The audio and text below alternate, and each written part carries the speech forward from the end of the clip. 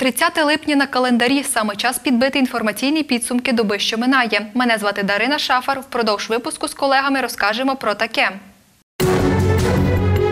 Питання енергетики позачергова сесія. Підтримка ВПО, доступні послуги у ЦНАПі. Музична терапія, турбота про найменших.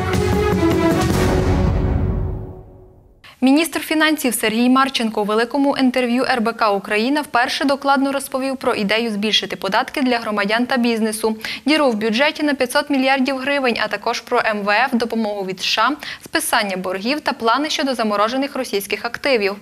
Уряд має дві великі проблеми: діру держбюджету в 500 мільярдів гривень та потребу швидко знайти гроші, щоб її закрити. Ці кошти здебільшого потрібні для сил оборони, у тому числі на зарплати військовим. Шлях, який запропонував Кабмін, щоб вирішити питання, не сподобався бізнесу. Підвищення податків і запровадження деяких нових очікувано викликало негатив та критику підприємців. Міністр фінансів Сергій Марченко підкреслює, що обраний шлях ще досить м'який та не зачіпає найменш захищені верстви населення. У відповідь на критику очільник Мінфіну радить бізнесу усвідомити, що питання безпеки має бути вирішено за рахунок збільшення податків. До того ж, каже він, ситуація наразі критична не лише на поточний, а й на 2025 рік. За словами Марченка, уряд готовий до дискусії в парламенті щодо можливих форматів підвищення податків. Головне знайти ресурс та не затягувати це питання, бо часу, щоб перекрити дефіцит і не створити бюджетну кризу, залишилось вкрай мало. Військово-обліковий документ з QR-кодом можна отримати в дії, повідомляють у Мінцифри.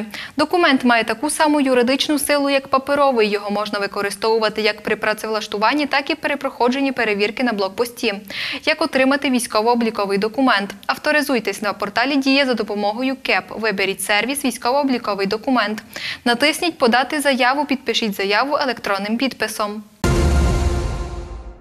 У залі 25 місцевих обранців, які зібралися на 50-ту позачергову сесію Мукачевської міської ради. На порядок денний винесли всього два питання, головним з яких є пункт, що стосується надання згоди на будівництво газопоршневих генераторів.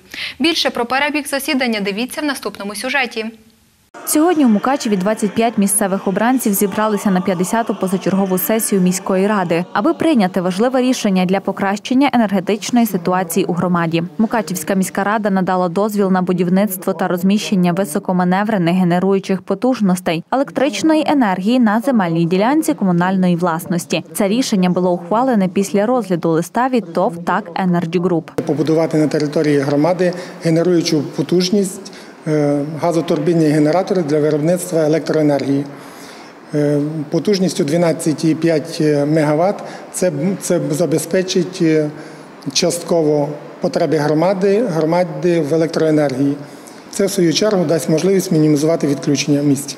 Пристрій для електрогенерації дозволить частково покрити потреби громади у споживанні електрики та дозволить значно зменшити тривалість відключень. Повідомляє начальник управління міського господарства Олег Казебрід. На даному етапі е, компанія буде розміщати е, газові генератори загальною потужністю 12,5 МВт.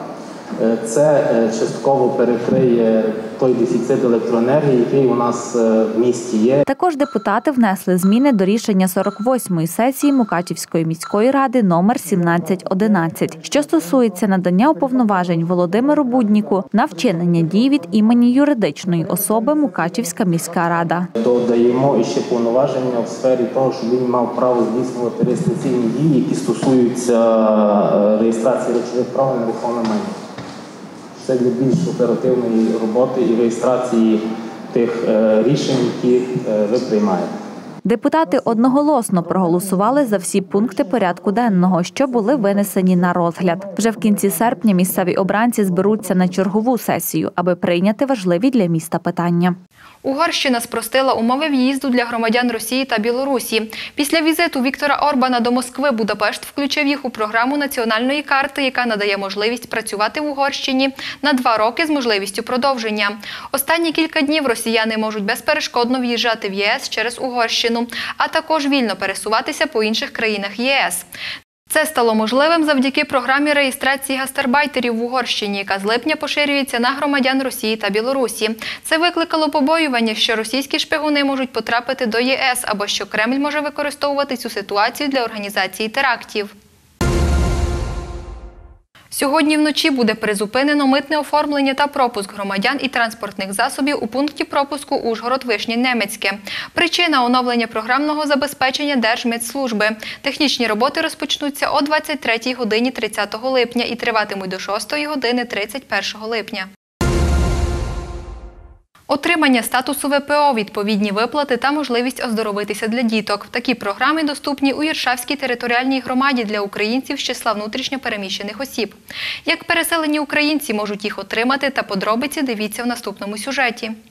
Отримання статусу ВПО, відповідні виплати та можливість оздоровитися для діток. Такі програми доступні у Іршавській територіальній громаді для українців числа внутрішньо переміщених осіб. На даний час у нас є програма для внутрішньопереміщених осіб.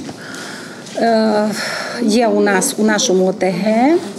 Що ми можемо їм запро- запропонувати? То є у нас є квартирний облік. Отримують вони у нашому відділі статус внутрішньопереміщеної особи і допомогу при умові, якщо вони працевлаштовані або стоять е, заявник і члени їхніх сімей, ото або жінка, або чоловік, якщо працевлаштований, або стоїть у центрі зайнятості. Внутрішньо переміщені особи активно звертаються за отриманням такого роду фінансової підтримки. Також у громаді працюють спеціалісти, які надають різного роду консультативні послуги. У нас е, центр, е, координаційний центр для внутрішньопереміщених. Створений те ж саме, якщо якісь є про- якісь прохання з внутрішньопереміщених осіб, теж так само ми їх розглядаємо. Для цих усіх допомог для статусу, для отримання цієї допомоги. Наразі виплата для переселених українців складає 3 тисячі гривень. дві тисячі інвалідам три тисячі. Як було, так і залишилося. Лише при умові, якщо людина працевлаштована і член її сім'ї, якщо чоловік і жінка. Наприклад, людина отримує пенсію, якщо розмір пенсії не більше як 9400 Також дбають і про діток. Для школярів з числа ВПО цьогоріч були доступні програми для оздоровлення. У нас при школах, загальноосвітніх школах е, функціонували літні е, табори. Це оздоровлення і відпочинок. Е, Відпочило у нас 821 один учень. Також у нас зараз е, 15 дітей буде відпочивати у таборі Арніка. Це е, тільки внутрішньопереміщені особи. Ми для них е, особливі умови створюємо, а також є в нас іще центр позашкільної освіти, де також приймали участь у відпочинку і оздоровленні ці учні. Формуванням списків діток для оздоровлення займаються профільні заступники директорів шкіл, каже Єлизавета Яцканич. Цьогоріч для дітей з числа ВПО чекає відпочинок у державному таборі на Воловеччині. Рідні загиблого захисника з Ужгородщини звертаються з проханням допомогти увіковічнити світлу пам'ять полеглого бійця.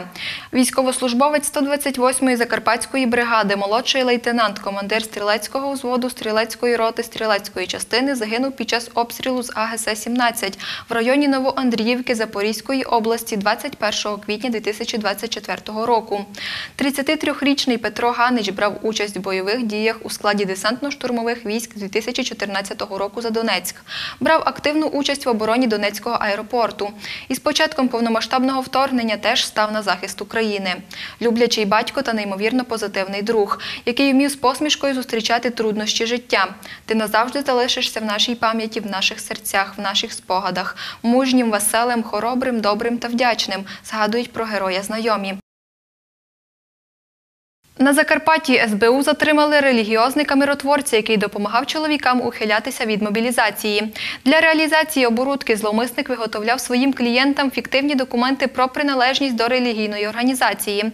Це дозволяло призовникам уникати призову через їх начебто релігійні переконання. Вартість виготовлення пакету документів становила півтори тисячі доларів США.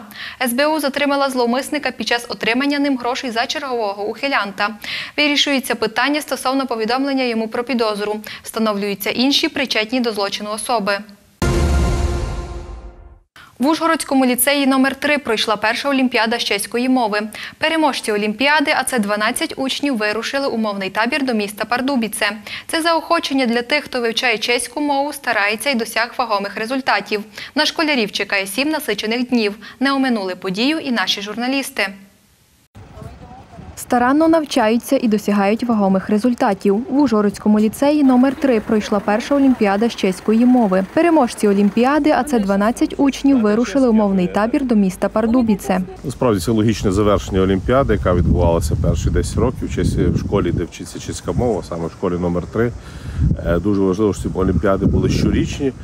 І насправді це переможці Олімпіади, діти, які найкраще знали чеську мову, яку могли оцінити наші вчителі, викладачі в нашій школі Ужгородській.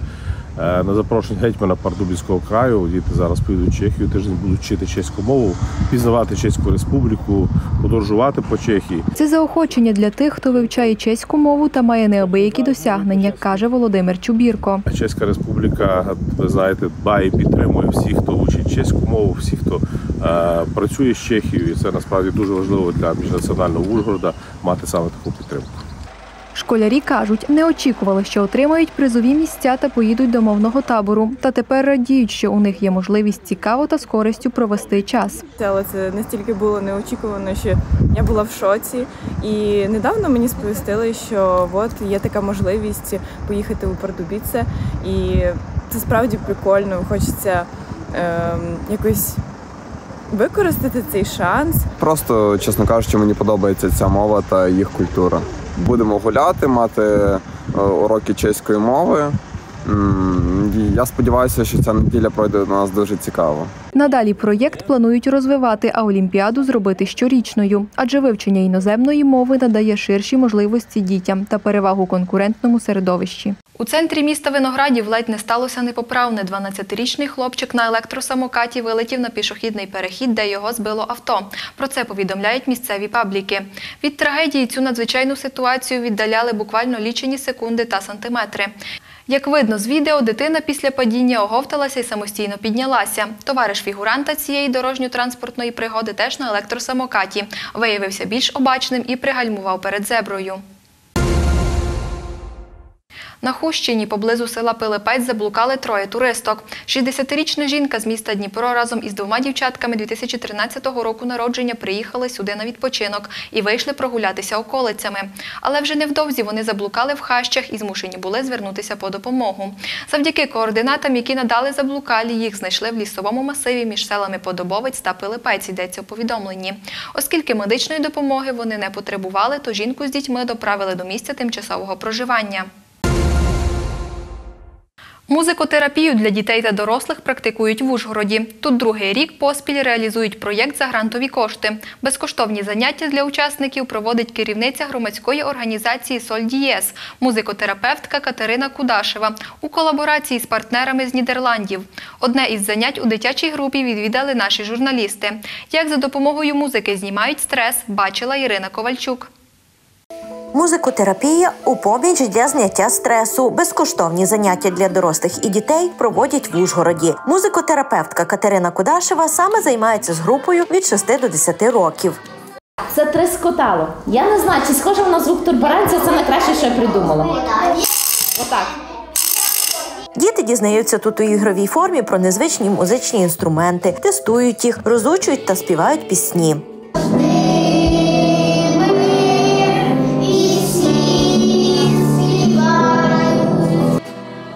Кожній віковій групі, а їх всього 5 до 15 дітей, у дорослі до 25. Навчальний курс включає 8 занять. Для учасників вони безкоштовні. Мені тут подобається і тут цікаво. Люблю співати і люблю звуки інструментів. Подобається, як грає флейта, сопілка і кларнет. Спочатку грали на барабанах, знайомилися з, з мелодією та музикою. А після цього ми почали, е, як би сказати, оце писати музику і е, відтворювати її на інструментах. Після цього ми почали її ще й співати. І зараз е, ми, я дуже чекаю, поки ми підемо на студію, на студію звукозаписі та запишемо її. Тут є такі різні е, музичні інструменти, можна пограти на них. На таких інструментах, е, такі інструменти, як, наприклад, е, глюкофон або барабан, на таких інструментах не грають на- в музичних школах. У результаті занять діти спільно з наставницею написали пісню на тему Чарівна країна. Мета цих занять, напевно, дати їм можливість виразити себе за допомогою музики без сильного такого навчального елементу, тобто дати їм можливість виразити свої емоції через музику, свої мрії. Тому ми використовуємо дуже прості музичні інструменти.